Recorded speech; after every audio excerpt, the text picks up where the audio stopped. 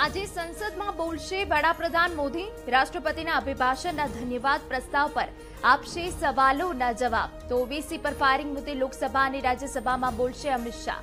ઉત્તર પ્રદેશના બિજનૌરમાં પીએમ મોદીની પહેલી ફિઝિકલ જાહેર સભા. ચૂંટણી પ્રચારથી ત્રણ જિલ્લાની અઢાર બેઠકોની જીતવાનું લક્ષ્યાંક. આજથી ફરી ધમધમશે સ્કૂલ ધોરણ એકથી નવના વિદ્યાર્થીઓનું ઓફલાઈન શિક્ષણ શરૂ થશે. કોરોના ગાઈડલાઈન સાથે સ્કૂલ શરૂ. ગુજરાતમાં કોરોનાના કેસમાં સતત ઘટાડો, નવા ત્રણ કેસ નોંધાયા, વધુ ઓગણીસના મોત.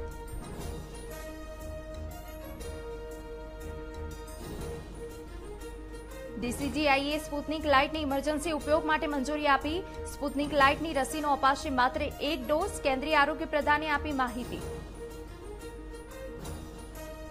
અમરેલીના સાવરકુંડલામાં બે મહિલાઓ પર એસિડ એટેક. બાઇક સવાર શખ્સોએ કર્યો એસિડ હુમલો. બંને મહિલાઓની સારવાર હેઠળ ખસેડાઈ.